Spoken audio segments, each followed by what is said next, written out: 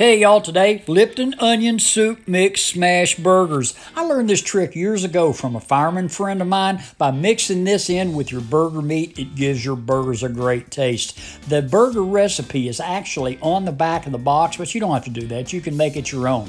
It comes with two of these seasoning packets in the box. Simply add that to your 80-20 ground chuck on top, along with some salt, pepper, and garlic powder. Then take a heavy burger press and press down hard and hold 15 to 20 seconds to press all those seasonings, including the soup mix, down inside those burgers. Just repeat this for each burger.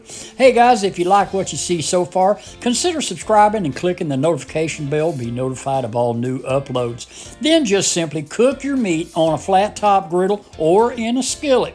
After three or four minutes, give her a flip, top with cheese.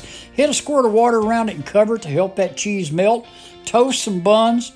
Add your choice of condiments to the buns, then just build your burger, adding onions, pickles, maters, iceberg lettuce, and enjoy a simply delicious burger made with Lipton onion soup mix.